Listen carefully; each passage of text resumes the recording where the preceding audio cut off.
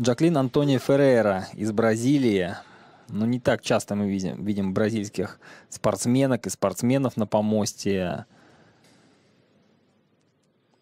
Ну, вот Антония Жаклин Феррера одна из них. 26 лет. э, В Казани на универсиаде была пятой, 102 килограмма показала в рывке.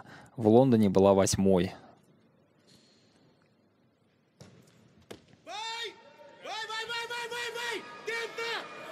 Нет. Не смогла зафиксировать Антония Жаклин Феррера вес 100 килограммов и после отдыха снова будет э, выходить к этому весу.